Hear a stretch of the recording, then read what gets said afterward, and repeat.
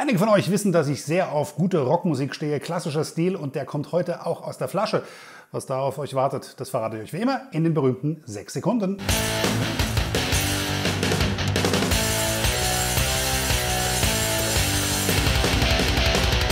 Schön, dass ihr dran geblieben seid und damit herzlich willkommen zur heutigen Bierverkostung. Ich freue mich, dass ihr alle mit dabei seid und vielleicht mit mir jetzt auch die Pommesgabel macht, denn es gibt eine Rock'n'Roll-Bier, ein Bandbier steht auf dem Programm und da ist von keiner geringeren Band als der lautesten Band der Welt die Rede. Es geht natürlich um Motorhead und Cameron's Brewery hat das Motorhead Road Crew Pale Ale gemacht. Und das hat mich ja schon so ein bisschen verblüfft, dass ähm, da ein Pale Ale an den Start durfte.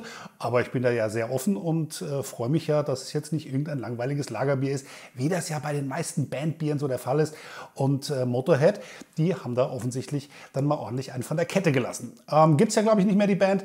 Äh, seitdem leider Lemmy, der Bassist, der die äh, Bassgitarre immer mit einer Mutter bearbeitet hat, äh, ja dann doch irgendwann mal äh, den Lebenshorizont hinter sich gelassen hat. Und ähm, ja, aber das Bier lebt weiter, die Musik lebt weiter.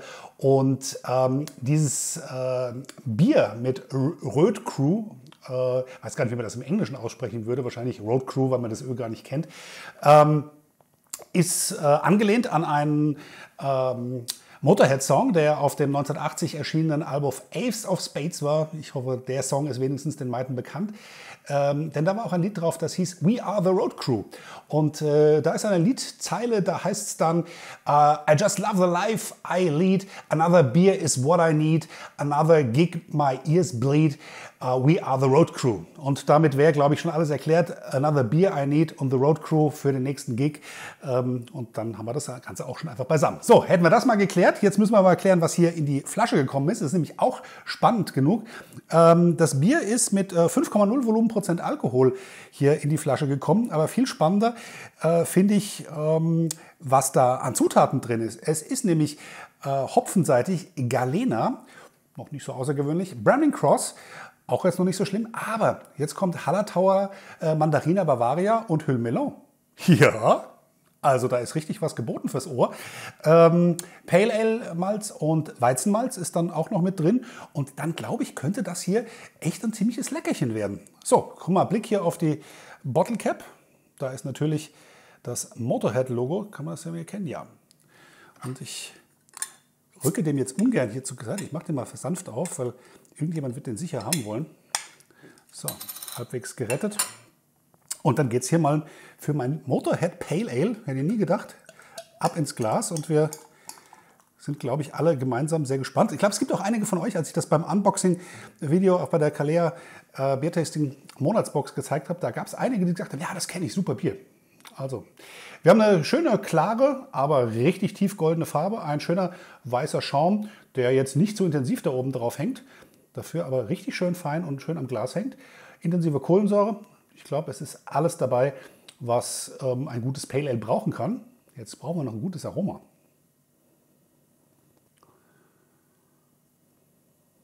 Also ja, ähm, schönes Aroma. Ist jetzt nicht so, dass es mich jetzt hier gerade aus den Socken bläst. Ähm, aber schön fruchtig in der Nase, so ein bisschen diffus, Hopfennoten mit dabei. Und vor allen Dingen, und das ist vielleicht auch ob der etwas dunkleren Farbe jetzt nicht so außergewöhnlich, ähm, schöne Karamellnote. Ein bisschen schön karamellmalzig. Und jetzt würde ich, oh, jetzt kommt die Frucht ein bisschen durch. Ich habe jetzt auch hier kein Tastingglas genommen, aber das wäre mir jetzt auch ehrlich gesagt bei einem Motorhead-Bier ein Stielglas. Uh, also das ist ja schon das höchste der Gefühle. In diesem Sinne, sehr zum Wohl. Rock on.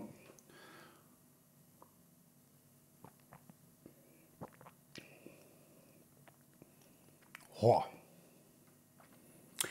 So, jetzt habe ich ja gesagt, eigentlich hätte ich erwartet, dass das hier so ein langweiliges Lagerbier wird. So, Bandbier, hm, ja komm, hauen wir irgendein Lager raus, äh, machen das irgendwie ein bisschen besonders, geht schon. Natürlich kann man jetzt mit einem Pale Ale nicht komplett übertreiben. Ja, also dass das jetzt hier eine super Fruchtbombe wird, dann wird sich wahrscheinlich auch nicht verkaufen. Da werden auch die meisten ähm, nicht Craft-Bier trinkenden Motorhead-Fans denken, hä, geht's euch noch gut? Ähm, und so muss man ganz ehrlich sagen, startet dieses Bier auch. Es ist schön hopfig, aber es kommt die Frucht jetzt nicht so mit einer die fällt jetzt nicht ins Haus rein. Ja? Ähm, so ein bisschen zitrusig, eher auf der grapefruchtigen Seite zu Hause. Also schön viel Zitrusfrucht da, aber die Grapefrucht, die bringt dann auch so ein bisschen Säure mit. Ähm, der Hopfen ist schön grasig. Also es ist ähm, soll ich das jetzt sagen? Nee. Äh, es ist so ein bisschen das Lagerbier unter den Pale Ales. Ja? Äh, es hat schönes, brotiges Malzgefühl mit dabei. Ähm, Karamell ist schön mit am Start und es arbeitet sich so langsam, so diese, dieses weiche Mundgefühl, was man eher von, von Ales kennt, arbeitet sich so langsam durch. Leichte Würze im Hintergrund. Es ist jetzt alles nicht so übertrieben und jetzt irgendwie im Ex Extreme. Ähm, also, aber ein schönes, leichtes Mundgefühl hat und auch so diese, diese Fruchtigkeit und so die, der, der auch fruchtige Hopfen, der kommt immer mehr, immer mehr, baut er sich auf. Und dann merkt man so, okay, ja, es ist jetzt kein Lagerbier, hm, es ist eher so ein bisschen was Ähnliches, aber der, der schöne bittere Hopfen, ähm, da wo ich jetzt glaube, dass der sicher auch irgendwo so um die, ja, wahrscheinlich 30 Bittereinheiten hier mitbringt. Das freut dann schon. Ähm, der Körper ist so im schlanken bis äh, mittleren Bereich. Ähm, mittlere Kohlensäure, das ist schön erfrischend, das ist eine super süffige, glatte Textur. Ja, das Bier muss ja getrunken werden, muss ja was weg davon. Und im Zweifelsfall auch nicht nur eins, sondern 15. Also ähm, das passt schon. Also äh, man muss einfach mal die Kirche im Dorf lassen und dann auch schauen, äh, was hat man sich da eigentlich äh, ausgesucht und für wen ist das und welche ist die Zielgruppe. Und das ist jetzt sicher nicht der äh, Craftbeer-Trinker, der normalerweise nur äh, die edelsten New England IPAs trinkt. Also ich glaube, da seid ihr mit mir einer Meinung. Was aber schon auffällt, ist, die Bittere nimmt stetig zu.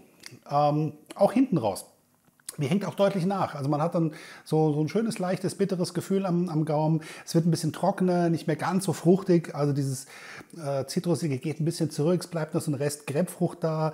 Ähm, auch die Würze wird ein bisschen mehr.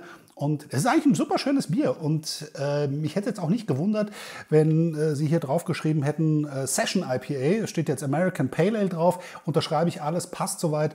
Ähm, ist halt eher so ein bisschen auf der eher knackigen und äh, herberen Seite äh, zu Hause und ähm, eher äh, auch ein ähm, ja, American auf der East Coast Seite als äh, tendenziell auf der West Coast Seite. Aber richtig gutes Bier. Ähm, nicht besonders äh, jetzt so aufregend, aber ich glaube, da habe ich schon schlechtere Biere von Bands getrunken und jetzt muss man einfach sagen, deshalb gibt es vor das Motorhead Road Crew Bier von angelehnt an das We Are the Road Crew von dem Ace of Spades Album von Probier TV gibt es dafür 3,5 Punkte für das Road Crew Motorhead Pale Ale. Und ähm, dann soll es für heute gewesen sein. Ich sage an dieser Stelle danke fürs Zuschauen. Wenn ihr noch kein Abo habt, ganz schnell da unten nachlösen. Und äh, dann sehen wir uns morgen wieder beim nächsten Bier. Bis dahin sage ich Tschüss, Papa. Servus, Prost und Ahoi. Cheers.